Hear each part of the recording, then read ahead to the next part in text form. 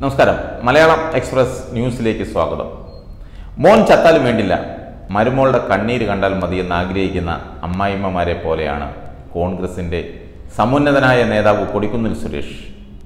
എങ്ങനെയും ഇരിക്കുന്ന കൊമ്പ് മുറിക്കുക എന്ന ഒറ്റ വിചാരമേ ഉള്ളൂ ഇതിയാണ് കോൺഗ്രസ് എന്ന മഹാപ്രസ്ഥാനത്തെ എങ്ങനെയും തകർക്കുക എന്ന ഒറ്റ ലക്ഷ്യം മാത്രമേ ഇതിയാനുള്ളോ എന്ന് ആരെങ്കിലും ചോദിച്ചാൽ അവരെ കുറ്റം പറയാനൊക്കില്ല. കാരണം എന്നും സ്വന്തം കാര്യം മാത്രം നേടുകയും അത് നേടിയെടുക്കാൻ എന്ത് ഹീന പ്രവൃത്തിയും ചെയ്യുക എന്നുള്ളത് അദ്ദേഹത്തിന്റെ രക്തത്തിൽ അലിഞ്ഞു ചേർന്നതാണെന്നാണ് അദ്ദേഹവുമായി അടുപ്പമുള്ളവർ തന്നെ സാക്ഷ്യപ്പെടുത്തുന്നത്. കൊട്ടാരക്കരയിൽ കുടിയേറി കൊടികുത്തിയ ഈ മഹാൻ പലയിടത്തും കൊടി കുത്തുന്നുവെന്നാണ് കൂടെ നിൽക്കുന്നവരുടെ തന്നെ അടക്കം പറച്ചത് ഇരിക്കുന്ന കൊമ്പ് മുറിക്കുന്ന പരിപാടി ഇന്നും ഇന്നലെയും തുടങ്ങിയതല്ല.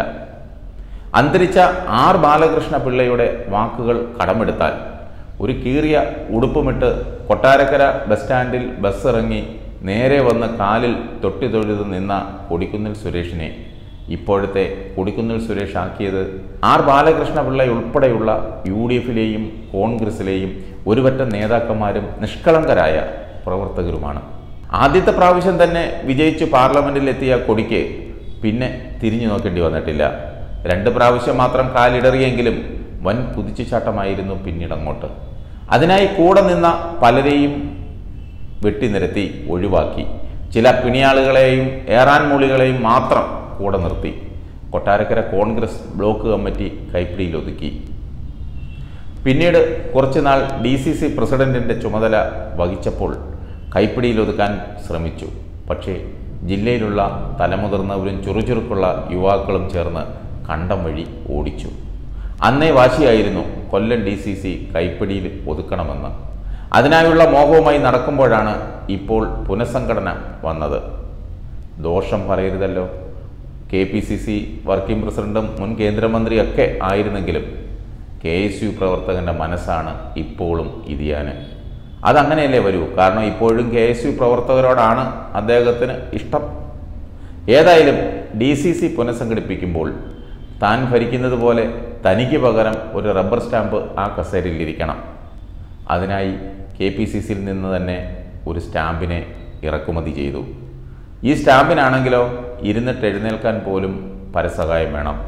ഓച്ചിറ മുതൽ ആര്യങ്കാവ് വരെ പരന്നു കിടക്കുന്ന കൊല്ലം ജില്ലയിൽ പാർട്ടി കെട്ടിപ്പടുത്തില്ലെങ്കിലും ഉള്ളത് കയ്യിൽ നിന്നും പോകാതെ സൂക്ഷിക്കാൻ നിയുക്ത പ്രസിഡന്റിന് എങ്ങനെ പറ്റുമെന്ന് ആരെങ്കിലും സംശയം ചോദിച്ചാൽ അതിന് പറന്നിറങ്ങാൻ കൊടിയുണ്ടല്ലോ എന്ന് പറഞ്ഞ് ആശ്വസിക്കാം. കോൺഗ്രസിന് ദേശീയ തലത്തിൽ തന്നെ യുവരക്തം തിളയ്ക്കാൻ യുവ നേതൃത്വം വേണമെന്ന് പറയുമ്പോൾ തന്നെ ഇവിടെ വൃദ്ധ നേതൃത്വത്തെ അടിച്ചേൽപ്പിച്ചുള്ള പാർട്ടി പ്രവർത്തകരെ മറ്റു പാർട്ടിയിലേക്ക് പറഞ്ഞുവിടാൻ തിരക്കഥ എഴുതുന്ന കൊടിക്ക് നഷ്ടപ്പെടാനൊന്നുമില്ല. ശിഷ്ടകാലം ചൊറിയും കുത്തി വീട്ടിലിരുന്നാൽ പോലും പത്ത് തലമുറയ്ക്കുള്ള അന്നത്തിന് വകയുണ്ടാക്കിയിട്ടുണ്ട്.